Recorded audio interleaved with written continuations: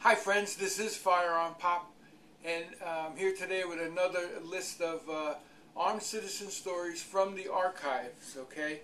So let's get right to it.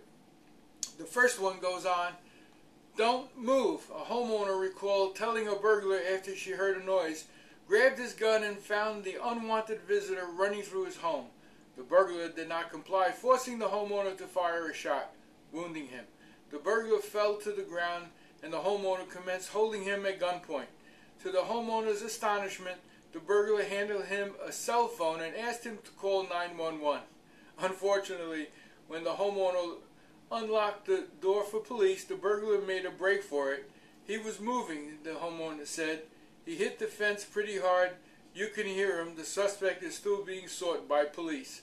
And this happened in Houston, Texas. Okay. Two men broke into the power equipment store late one night and began ransacking the place. A store employee who was working late came upon the two men, one of which was holding a chainsaw. The employee pulled out a gun and fired a shot, fatally wounding one man and held the other at gunpoint until police arrived on the scene. And that happened in uh, Georgetown, Washington. Four young men loitering near a dumpster approached the Wing Zone takeout driver while he was making a delivery. According to witnesses, the suspect demanded money and one of them flashed an illegally possessed gun. The driver, a concealed carry permit holder, didn't hesitate. He drew his handgun and fired four shots while attempting to run. One of the suspects was shot and fell to the ground. He was arrested at the hospital. His accomplices fled. Two were arrested and one remains at large. Police said there have been several pizza delivery robberies in the area uh, during the six month period, and this was in Lexington, Kentucky. When a Knoxville, Tennessee man discovered two would be thieves attempting to steal car batteries from behind his home, he drew a firearm and held the suspects at gunpoint. The police arrived shortly thereafter, and both suspects were arrested and charged with theft. And that happened in Knoxville, Tennessee. Two people had just pulled into the bank's drive-through automated teller machine when a man approached them on the driver's side of the vehicle. The man drew a gun and demanded that the driver withdraw $600 and give it to him. The driver told him that the bank wouldn't allow him to withdraw that amount, but the passenger told the driver to go ahead and withdraw it. Secretly, the passenger just wanted a diversion to allow him to draw his handgun. As the suspect watched the driver withdraw money, the passenger saw his opening.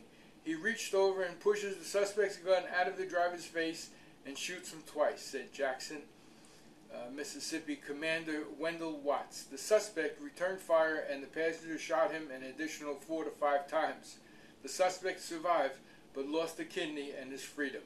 Jackson, Mississippi. Three 20 something men planned out an attack on a nearby home and decided to carry it out one night. Little did they know the homeowner who, did, who, who would be ready for them. Just after entering the home by breaking down the front door, two of the intruders were met by the homeowner at the end of his shotgun. One of the men fled while the other was held at gunpoint until police arrived. The men were charged with burglary and criminal conspiracy, and that was in Portland, Oregon. Professional firefighter uh, Craig Moore was returning home when he noticed a pair of snow-covered boots that didn't belong to him. Fearing an intruder was inside, he readied his handgun and began a room-by-room inspection. He entered an upstairs bedroom. He came face to face with a man hiding under a comforter at the foot of the bed. to Moore's further shock, he recognized the man as his neighbor. Moore, yelling at him, demanded to know what he was doing in the house and asked if he had stolen anything. The neighbor cowered and begged Moore not to shoot.